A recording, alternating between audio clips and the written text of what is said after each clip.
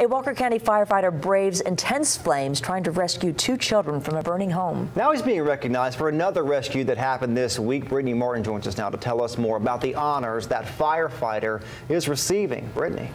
Josh Kim, Lieutenant Chad Regal was awarded the Medal of Valor last Saturday. He was honored for a rescue most firefighters just see once in their career. Now he's done it twice in three months. Firefighters knew it was a serious call Monday morning. While en route, they advised that there was a man still inside of the residence. As soon as they got to this home on Salem Road, his fellow firefighters say Chad Regal didn't hesitate. We went ahead and, and entered the structure and found him lying on the floor and carried him out. The man, Robert David Sprague, was in cardiac arrest. Chad was able to give him to an EMS crew for CPR. Sprague was flown to the hospital where he later died. But the assistant chief says that doesn't change the fact that Regal was willing to risk his own life for someone else. That mindset of knowing someone is there is to instantly get in, find them. It's something most firefighters might see once. A lot of guys go their whole career without without ever having the opportunity to, to do that. For Regal, this was the second rescue in less than three months.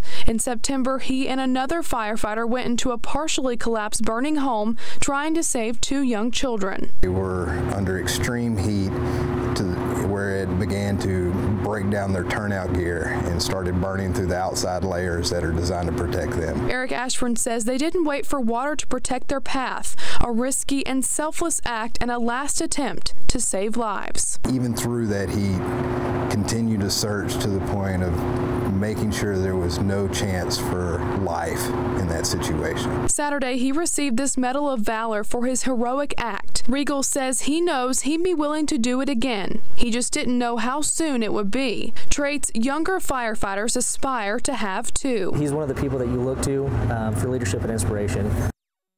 Another firefighter, Nathan Elliott, received the Medal of Valor. He also went into the home with Regal in September. Josh. Brittany, thank you. The Walker County Fire Department says they respond to about 150 fire calls